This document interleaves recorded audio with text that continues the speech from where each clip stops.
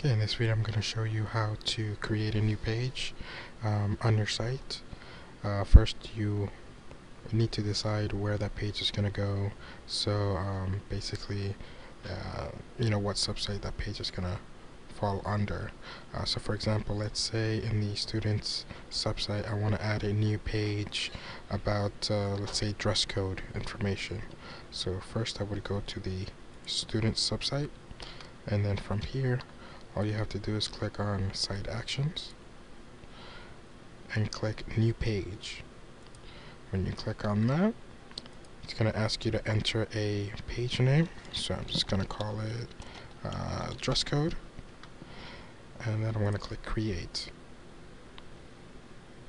And once it does that you'll be presented with a blank page. Here you can add the content uh, a picture if you have like a header or anything uh, like that. Um, and also you will not see a link here on the left navigation until you check in the page. Uh, so you know it's good in case you don't want anybody to see it until you know you're ready to publish it. Um, so I'm just gonna check in the page. Hit OK continue and see if I go back now to the main page you should see that now dress code is on there. So if I click on the student subsite you'll see that dress code is listed at the bottom. When you click on it there's no information obviously because it's blank.